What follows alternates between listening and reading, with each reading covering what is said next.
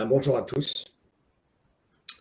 Donc, vous allez voir une présentation euh, plutôt tranquille, euh, avec un peu de fun. Euh, voilà. J'ai bien aimé la présentation sur, sur Terraform d'avant. C'était très, très intéressant. vous allez voir que dans, une des étapes que j'ai utilisées pour monter Minecraft, ben, j'ai utilisé du Terraform. Mais on peut s'en passer. Donc, l'objectif, c'était vraiment un peu le, voilà, le côté un peu, un peu fun. C'était de voir comment installer un serveur Minecraft dans le cloud en étant plutôt agnostique. Moi, je vais partir sur le cloud Oracle, mais peu importe. Euh, en étant agnostique. Alors, gratuit, ça veut dire que vous avez la possibilité partout de faire l'OS free. Euh, si on part un petit peu, si on part chez Oracle sur l'OS free, vous avez la possibilité sur le cloud Oracle, mais comme sur les autres clouds aussi, d'avoir un compte free. Vous voyez que vous avez euh, tout un ensemble de services qui sont éligibles. Moi, je me suis, ce qui vous intéresse juste pour la partie euh, Minecraft, voilà, une VM gratuite, je peux monter jusqu'à 4 euh, processeurs et 24 gigas en processeur ARM à 1 ampère. Voilà. Et d'autres composants, mais là, qui ne m'intéressent pas par rapport à, la présentation. Donc, en gros, c'est ça l'idée. Vous pouvez avoir une VM qui a 4, 4 CPU, hein, euh, qui sont des processeurs Intel, et avec 24 gigas de, mémoire, donc tranquille, hein, ça, le fait sans, aucun problème. Ah. Alors, le bloc d'origine, vous pouvez le trouver. Euh, le bloc d'origine, vous pouvez le trouver effectivement sur le net. Vous pouvez trouver ce bloc d'origine euh, sur la, partie, euh, voilà, sur Google, vous tapez Minecraft, Oracle CI, vous allez trouver, vous pouvez faire l'install en moins de 15 minutes. Donc en gros, vous faites votre compte gratuit sur, euh, sur le Cloud Oracle et vous, suivez le tuto. Hein. vous créez une VM, vous créez un Virtual Code Network, vous mettez un certain nombre de règles de sécurité et en 15 minutes, vous avez, vous avez effectivement votre serveur Minecraft. Donc ça, très très simple à faire. Vous pouvez, vous pouvez faire ça, c'est totalement gratuit. L'idée, c'était de voir un petit peu euh, comment on pouvait automatiser ça? Alors c'est bien parce que ça, fait, ça va embrayer par rapport à, la conférence d'avant qui, était euh, qui était sur Terraform et qui était assez, euh, critique, mais dans le bon sens, je trouve. Il y avait vraiment de retour d'expérience. Moi, l'idée, c'était plutôt d'être le plus agnostique possible par rapport à la site cloud. Donc là, ça sera du Oracle, mais ça pourrait être n'importe quoi. Et on verra que n'importe quoi n'est pas si simple. Euh, ça ne sera pas complètement agnostique. Pour rendre la vie plus facile aux développeurs et mettre du fun dans le testing. Hein, c'est vrai que pour, tout vous dire, si vous vendez euh, du testing euh, sur ce, use case, vous serez obligé de faire du test de, Minecraft, voilà, euh, fonctionnel, et vous serez obligé de faire du test de charge avec vos amis. Donc, vendez-le, vendez ce, use case. C'est vachement sympa. Moi, chez Oracle, ils ont accepté. Et je pense qu'ils ne se sont pas bien rendus compte. Mais voilà, j'ai réussi mon coup, on va dire. Donc, c'était parfait.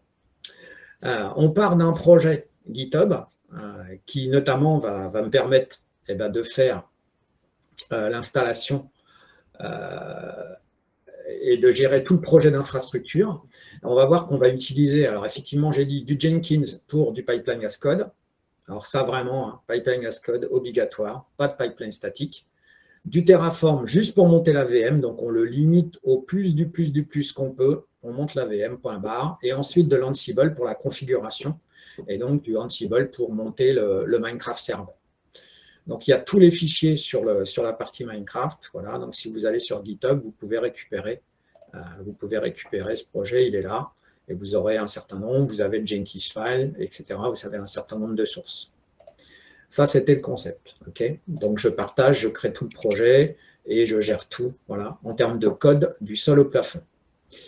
Jenkins, euh, pipeline as code, c'est là qu'on va, ben, du coup, on va pouvoir bien limiter euh, l'intervention de chaque composant sur la partie sur laquelle on veut fonctionner. D'accord? Donc, on ne va pas tout mettre. Vous avez vu, hein, c'était à faire hurler de, mettre, par exemple, voilà, des ordres Kubernetes dans du Terraform, etc. Donc, on va essayer de ne pas tout mélanger on va essayer de restreindre eh bien, euh, chaque produit sur son cœur. Donc, c'est ça qui est intéressant. La pipeline as code, c'est vraiment très sympa, c'est-à-dire cette capacité de designer mon pipeline comme du code. Donc finalement, l'infrastructure est du code, le développement, c'est du code, et même le pipeline, c'est du code. On voit un certain nombre d'étapes qui sont simples. Tout d'abord, je, effectivement, je récupère le projet GitHub. petite étape de sécurité où j'affiche mon nom. Je vais tourner ce pipeline, donc j'ai besoin d'outils, du Terraform, du Vault, de l'Ansible. Donc, je vais vérifier que j'ai bien ces outils qui sont à ma disposition. D'accord?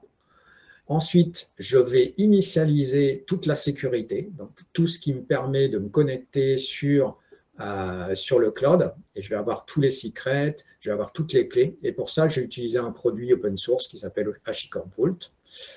Ensuite, on va avoir deux étapes, la planification la création de la VM et la création de la VM elle-même, avec du Terraform. On voit qu'ici, finalement, la création de la VM est très courte. Hein, ça prend 43 secondes pour créer une VM. ok, c'est rapide, c'est à peu près les, chiffres que vous avez.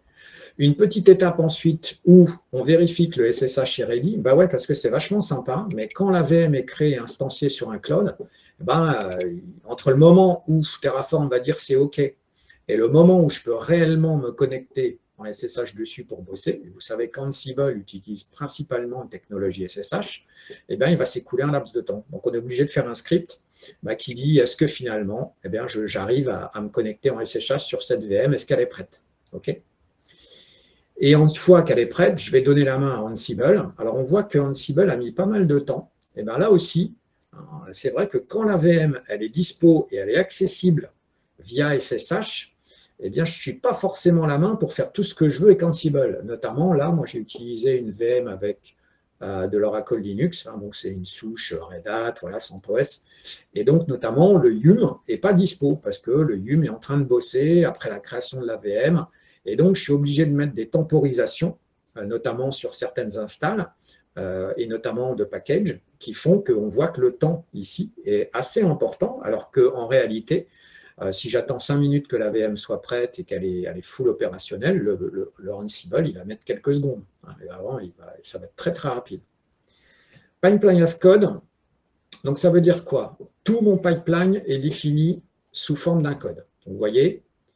Donc, je décris mon pipeline sous forme d'un code. C'est très, très simple. L'étape 1, l'étape 2, l'étape 3. Surtout, ce n'est pas un pipeline statique. Donc, c'est ça qui est vraiment, euh, qui est vraiment sympa c'est comme je n'ai pas un pipeline statique, je peux déplacer les étapes hein, très très rapidement, de 1 vers la 2, la 2 vers la 3, et donc tout est totalement dynamique. On voit une étape, par exemple ici, où je vérifie effectivement que j'ai les bons outils au niveau du nœud qui, euh, fait tourner le pipeline. Ah oui, parce que l'infrastructure de Jenkins, j'ai un nœud master qui exécute le pipeline et qui va l'envoyer s'exécuter sur des slaves. D'accord? Et ça veut dire que ces agents euh, ces, esclaves eh ben, doivent posséder les outils que j'utilise dans le pipeline. C'est-à-dire, si j'utilise du Terraform ou euh, du Ansible ou etc., j'ai besoin que sur mon serveur, ce soit disponible. Donc ça, c'est assez contraignant. C'est assez contraignant de se dire, chaque fois que j'ai besoin d'un outil sur mon pipeline, je dois l'avoir sur le slave. Et pour ce faire, on va utiliser un truc super sympa, c'est qu'on va créer un container Docker qui contient tous les outils donc, tous les outils, la totalité des outils euh, nécessaires au pipeline. Donc, on va avoir un container Docker qui va contenir Terraform, Ansible euh, et un certain nombre d'utilitaires. D'accord? Très sympa. Et ça, ça veut dire que lorsque mon pipeline va être exécuté sur l'agent, d'accord, slave, sur le slave, eh bien, la seule nécessité technique au niveau du slave, c'est d'avoir du Docker.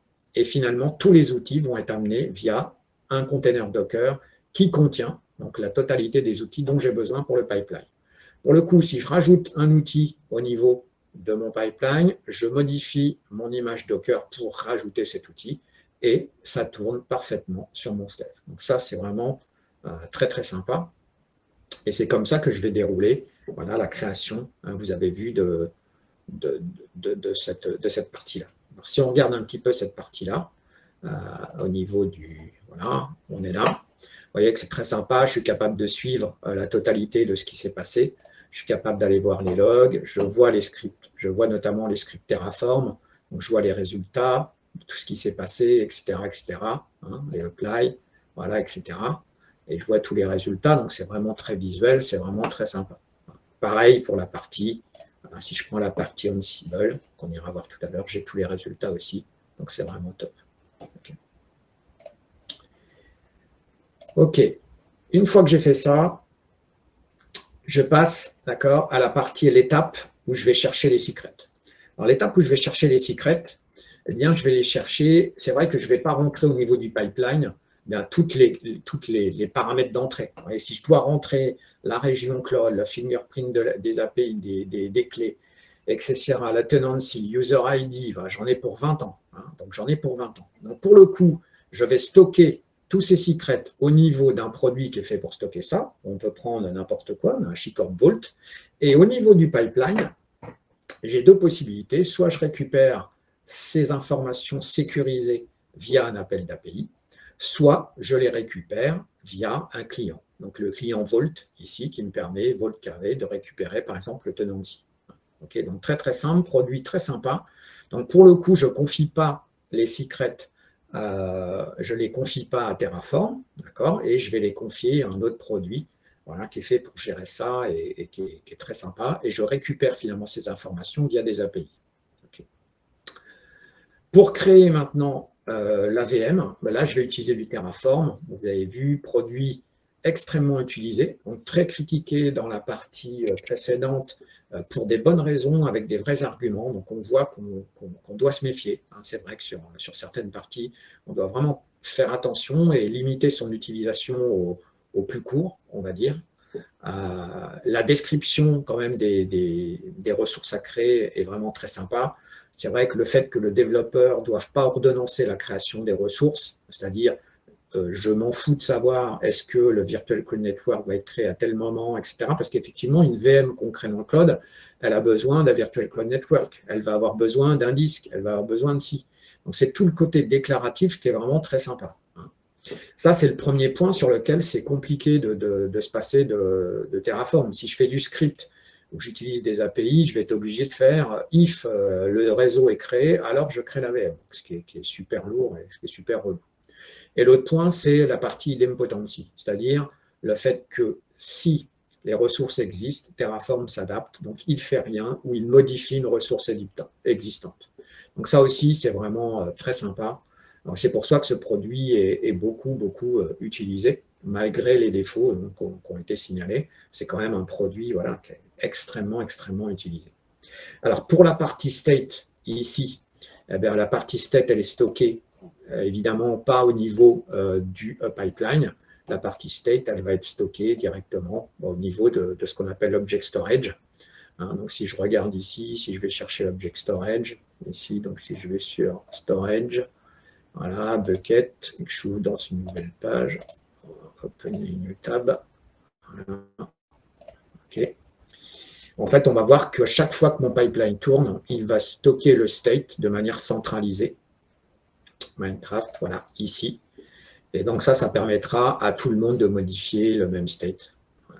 Et il est là. Donc je peux faire tourner mon projet Terraform dans un process euh, Jenkins. Je peux le faire tourner en local du moment que je pointe sur le même Terraform state.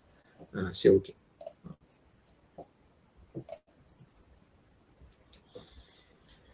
La dernière partie, d'accord, donc on voit de l'Ansible.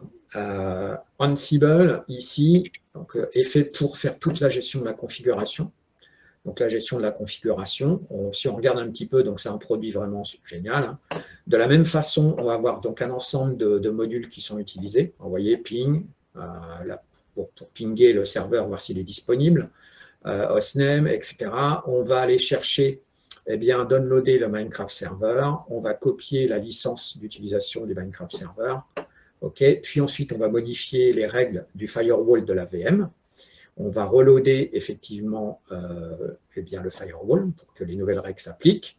On va installer du, screen qui permettra de faire le démarrage via SSH du Minecraft Server eh bien, sans perdre effectivement la, parce que si on est en SSH et qu'on démarre, bah, qu'on termine SSH, ça, va, ça finira euh, le Minecraft Server instantanément. Donc, on va utiliser Screen pour pouvoir être capable de faire ce, démarrage et se déconnecter sans euh, perdre effectivement cette session et sans perdre le, Minecraft qui est.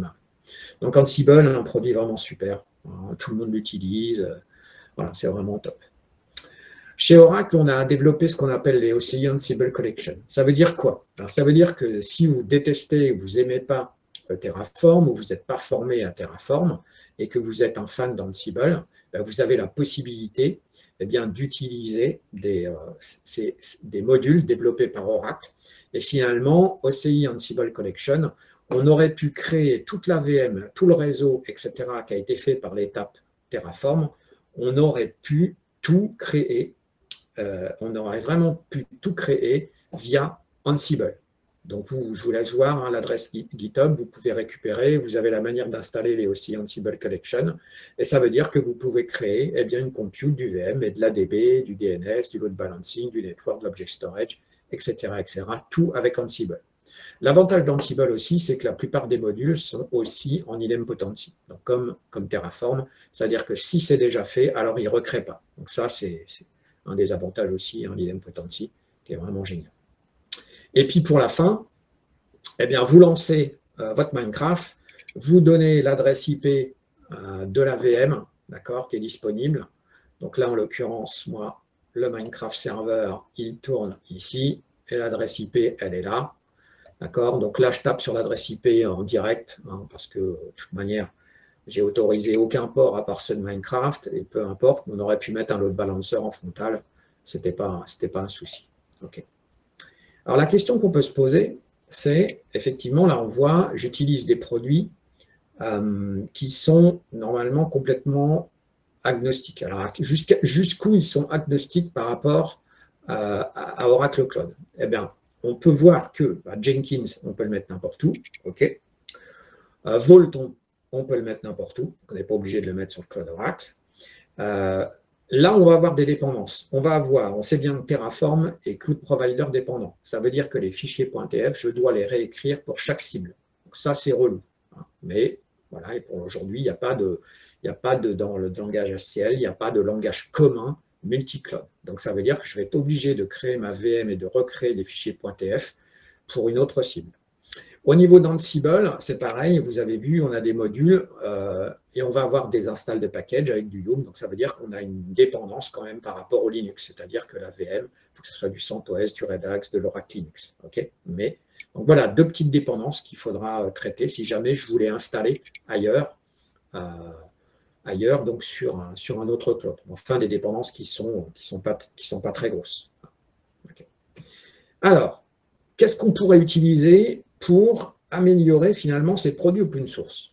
C'est vrai que, bah, par exemple, euh, euh, sur Oracle, alors après, vous aurez sûrement d'autres services euh, dans d'autres cloud providers, mais un peu c'est l'idée, c'est de se dire, mais finalement, les cloud providers, à un moment donné, ils partent d'un produit open source et ils créent un service pass, d'accord, qui amène des fonctionnalités. Donc nous, par exemple, sur la partie Terraform, on a ce qu'on appelle Oracle OCI Stack Manager. Donc finalement, Oracle OCI Stack Manager, c'est quoi? C'est du Terraform as a Service. Donc ça veut dire que j'aurais pu confier la totalité euh, des fichiers TF d'accord, à Stack Manager. Et c'est exactement du Terraform qui va tourner hein, derrière. Donc je vais avoir du Terraform Apply, du Terraform Plan, etc., du Terraform Destroy, etc., etc. Mais je vais avoir des fonctionnalités en plus. Alors, comme fonctionnalité sympa, eh ben, par exemple, un des problèmes qui a été remonté dans la conf précédente, c'est qu'effectivement, si quelqu'un fait une manipulation au niveau euh, du portail cloud et modifie une des ressources que j'ai créées via Terraform, je vais me retrouver désynchronisé. Et pour découvrir la désynchronisation, ce n'est pas si simple. Franchement, si jamais je crée une vingtaine, une trentaine de ressources, ça va être chaud pour aller voir qu'est-ce qui est désynchronisé. Et donc, on a une fonctionnalité au niveau de, Stack Manager qui est très sympa, qui s'appelle Run Drift Detection. Et le concept consiste à scanner l'état du Terraform State par rapport à ce qui existe. Et pour le coup, eh bien, vous allez faire un différentiel et ça va vous indiquer et vous, vous, vous montrer quelle est la ressource qui ne correspond plus d'accord à la description TF. Alors, une fois que vous avez trouvé la ressource qui ne correspond plus, bah, c'est assez facile dans les différents clouds eh d'aller voir le coupable. Hein. C'est-à-dire vous prenez la ressource, généralement vous prenez son ID, euh, par exemple, hein, elle va avoir un ID, la VM elle a un ID, le bloc il a un ID, et vous allez aller trouver dans les logs du cloud, d'accord, au niveau inspection, bah, qui a fait une modif et quand. Et donc ça, ça vous permettra eh d'aller repérer un petit peu le fautif D'accord? Le fautif qui finalement a fait une modif directement via les interfaces, alors qu'on aimerait dans l'idéal qu'aucune modif ne soit faite via l'interface et que toutes les modifs soient faites via Terraform. Donc voilà un exemple, par exemple, de, de, de, service assez sympa.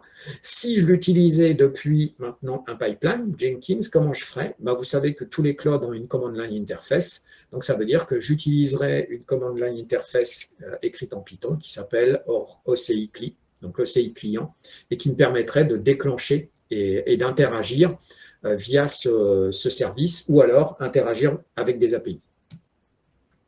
Autre service qui aurait pu être utilisé, donc plutôt que d'avoir du, du HashiCorp Vault, bah, je peux utiliser du Oracle Code, infrastructure Vault. Tous les clouds hein, ont leur Vault.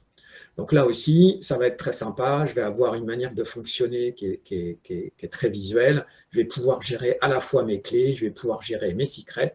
Et de la même façon, je vais travailler avec Vault, ici, Oracle Infrastructure Vault, avec un client. Donc là, HashiCorp Vault, le client, c'est Vault client, d'accord euh, Oracle d'infrastructure Vault, le client, c'est pareil, c'est OCI, hein, euh, Command Line Interface, OCI CLI. Et donc, j'aurais pu faire une étape en utilisant OCI CLI qui tapait sur Oracle d'infrastructure Vault pour aller chercher les secrets et les données au pipeline pour que tout se crée euh, dans les bonnes conditions. Autre service qui aurait pu être utilisé, donc là, eh bien, on aurait pu installer non pas, on aurait pu installer non pas Minecraft sur une VM, mais on aurait pu l'installer dans un container Kubernetes.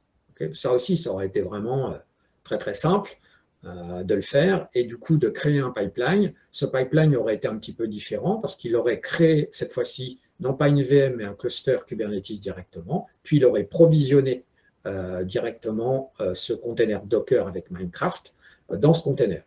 Alors chez Oracle, on a un nouveau service qui s'appelle Oracle DevOps, DevOps OCI, qui va nous permettre finalement de définir des pipelines automatiques de déploiement avec trois cibles possibles. Soit une cible type Kubernetes, donc ça veut dire que je vais construire une image contenant Minecraft et je vais déployer sur Kubernetes.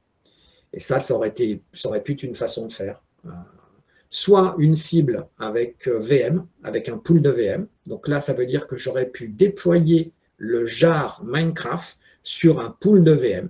Donc ça veut dire que j'aurais eu instantanément plusieurs serveurs Minecraft à ma disposition, soit un déploiement sur des functions. Bon, là, je ne peux pas euh, déployer mon Minecraft sous forme de function, c'est hors de question. Alors, si vous voulez maintenant euh, faire un petit test, eh ben, vous pouvez tester ces, parties-là. Hein. Euh, vous savez qu'on a chez Oracle un endroit qui s'appelle Live Labs, où vous pouvez provisionner automatiquement des environnements instantanément et faire des tests de workshop. Donc ça, ça veut dire que c'est même indépendant euh, du compte free que vous auriez pu créer hein, sur Oracle Cloud. Vous pouvez carrément partir de j'ai rien à ma disposition, je veux faire quand même un Labs, eh bien c'est le Labs qui va me créer l'environnement à la volée, qui va me permettre de le faire. Et ça, c'est totalement gratuit, utilisable euh, totalement euh, à volonté. Donc ça s'appelle Live Lab, vous pouvez créer n'importe quel type de ressources d'Oracle Cloud, toutes les DB, tout Autonomous, etc., DVM pour Minecraft, euh, vous pouvez, ici, je vous ai mis trois, euh, trois labs qui sont en rapport par rapport aux technologies dont je vous ai parlé. Un labs par rapport à Terraform, un labs par rapport à Resource Manager Stack, qui est du Terraform as a Service, et un labs par rapport à du DevOps, qui est, qui est déployé ici, un container Docker sur un cluster Kubernetes. Voilà. Ou sinon, vous partez sur le blog, 15 minutes, et vous faites tout à la main. Voilà, ça sera pour une fois, et vous jouez gratuitement. Hein, c'était encore euh, l'objectif, c'était ça. Ok, donc j'en ai terminé euh, avec cette présentation. C'est parfait, il me reste trois minutes. Et donc je vais faire un stop share.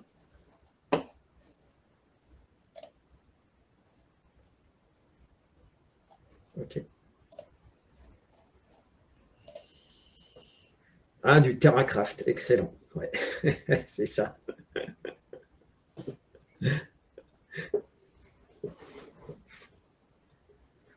Ok. Si pas de questions, on va les passer sur les sessions suivantes. Ça va être passionnante aussi.